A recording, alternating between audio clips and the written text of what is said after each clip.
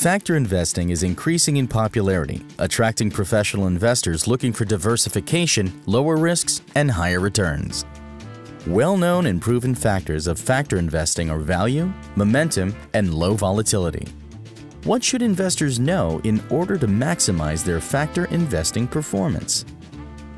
1. Factor investing is not hype. Hypes are based on the subjective, on emotions, and tend to be relatively short-lived. The contrary is true for factor investing. Factor investing is backed by many years of academic research. Simultaneously, factor investing has gradually gained ground and is still growing. 2. Invest in the proven factors. Value, momentum, and low volatility, for which there is ample academic evidence, work better than the latest, less researched factors.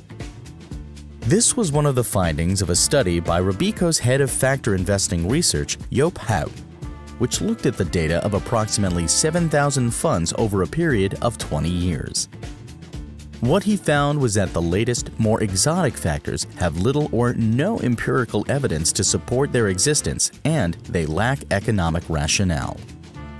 Moreover, the premiums of proven factors won't simply disappear because despite its increase in popularity, even the most optimistic expectations predict that not all investors will be willing and able to implement factor investing due to conservatism and the asset management industry structure. 3. Factor premiums are not the result of higher risks. Take value. Research carried out by Robeco shows that you can capture value premium without having to invest in high-risk stocks stocks with a high risk of distress, poor financial strength, and an aggressive accounting base.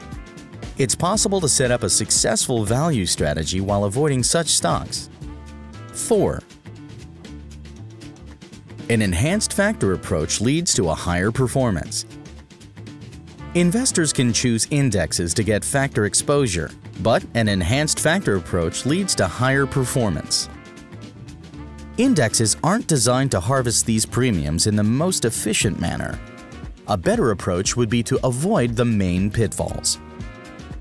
Risks that do not lead to higher returns. Sometimes it's better to avoid risk by having a good screening process. High portfolio turnover. Strategies with a high turnover lead to high trading costs and these costs eat into net performance. Negative exposure to other factors. There's little use in having positive exposure to one factor when it leads to negative exposure to others. 5. A portfolio should be diversified over multiple factors. Diversification does not need to be difficult. With a fund, the asset manager can measure the factor exposures and make sure that the portfolio remains well diversified across multiple factors. And options are available. The expected benefit is a higher Sharpe ratio. Using multiple factors at the same time can also pay off in other markets, such as the credit market. Want to know more? Go to robeco.com slash factorinvesting.